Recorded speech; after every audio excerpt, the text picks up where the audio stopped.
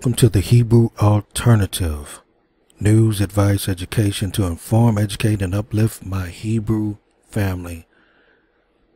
Now, this station was created for you, Zion, from the point of view from Awakened Hebrew. Hallelujah. This is the Daily Mail. And let's take a look at the two suspects that killed poor little Jazmine Barnes. And yes, they are black, which the identity of this individual here was mistaken for a white man, which led many to believe that it was this crime was racially motivated when it wasn't. Turns out this is a mistake and identity case in which she paid the price for. Picture the two black suspects in the Walmart shooting death of seven-year-old Jazmine Barnes after it was initially thought to be a race hate crime when witnesses described seeing a white man in his 40s fleeing the scene. And so, I don't know how they mistake this face for a white man face, but they did. Jazmine murder suspects. And here they are. Another black on black crime, huh? Senseless shooting without care, without heart, without, without even knowledge of who they shot. Police now have two suspects in custody connected with the murder of seven year old Jazmine Barnes Wright, who was gunned down in a Texas Walmart parking lot a week ago. Eric Black Jr., 20 Center, was arrested and charged with capital murder after the little girl was shot dead in Houston on December 30th. They said early Sunday that Black was arrested without incident after receiving a tip and later admitted to, sh- to the shooting. Another man, Larry Woodruffe, 24 left, was the second suspect to be taken into custody. The Barnes family lawyer, Lee Merritt, released a copy of Woodruffe's uh, mugshot on Sunday and said he is believed to be the shooter. Jazmine was in the family's car with her mother and three siblings when a red pickup truck pulled up next to them and someone started firing inside the vehicle. Police initially described the suspect as a bearded white man in his 40s, based on a description from various witnesses and victims. They released a police sketching showing a white man inset in Jazmine's mother. LaPorsha Washington said she believed the shooting was racially motivated. However, both men arrested in connection with the little girl's murder are black. It is possible the white man previously described to police as a suspect was simply a bystander trying to escape the shooting.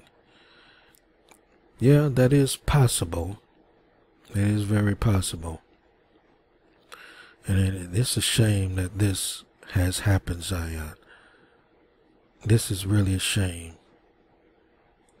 Okay, this is the actual article, and I'm going to leave a description to this article so that you can fully read it.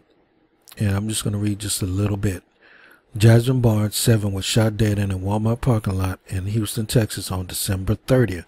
She was in the family's car with her mother and three siblings when a red pickup truck pulled up next to them and someone started firing inside the vehicle, which turned out to be these two suspects here. Both, this one has been charged with capital murder, capital murder already, and the second suspect is in custody.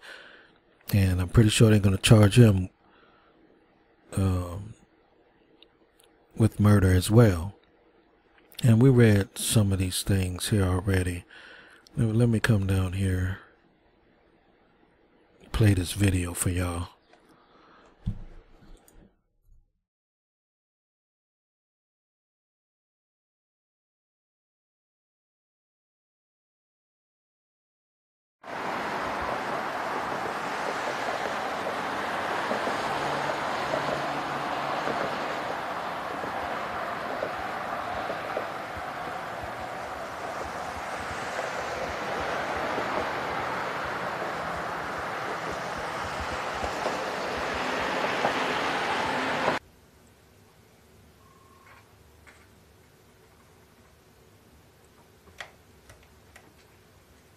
All right, so Mr. Black, you're charged in the 176th District Court, Judge Nikita Harmon, with the um, capital felony of capital murder of a person under 10 years of age.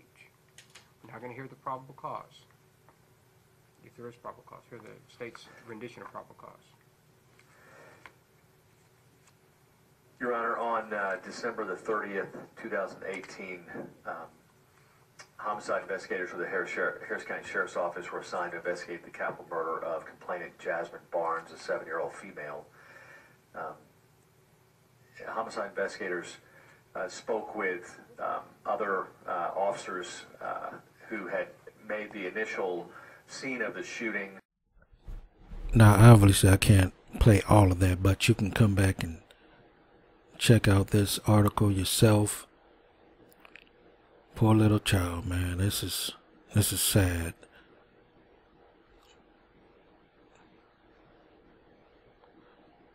And Zion, we know when it's going to get better, don't we? When our Messiah returned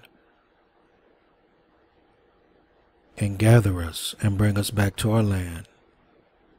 That's when it's going to get better for us, Zion.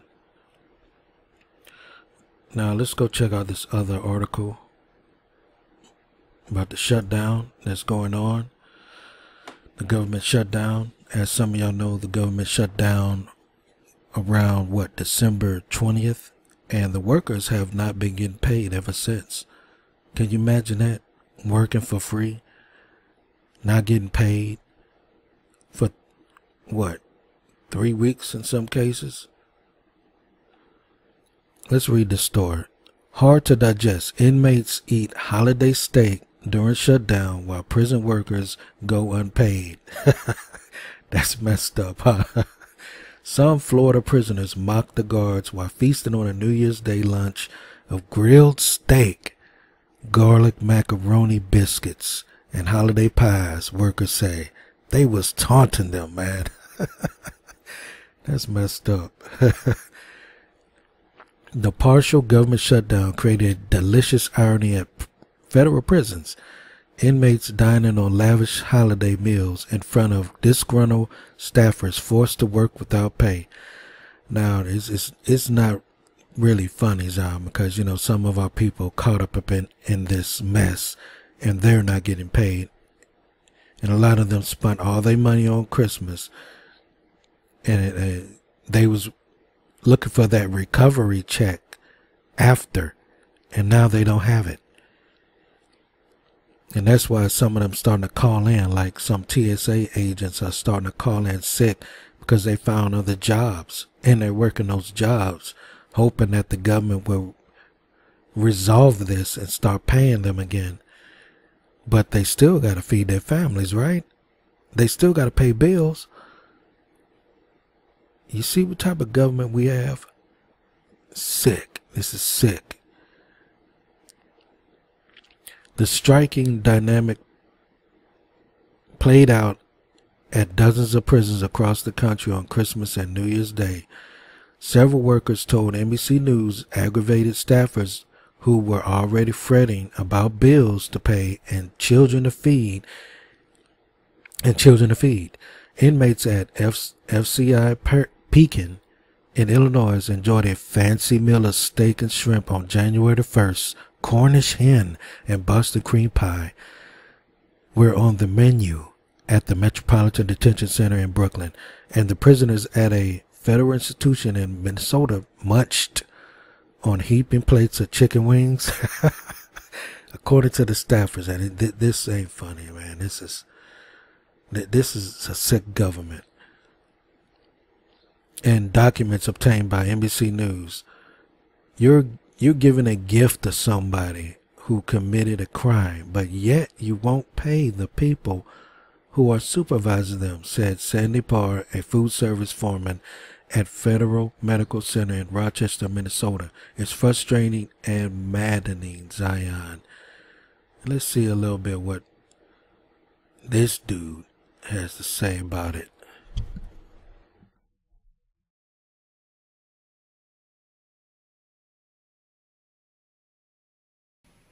Two weeks into this shutdown, a two hour talk and two versions of how it went. He said he'd keep the government closed for a very long period of time, months or even years. We just completed a lengthy and sometimes uh, contentious conversation with the president. I thought it was really a, a very, very good meeting. The president, in a surprise appearance in the Rose Garden, revealing he's considering going around Congress altogether by invoking emergency national security powers to get the wall he wants. We could call a national emergency and build it very quickly, and uh, it's another way of doing it. But if we can do it through a negotiated process, we're giving that a shot.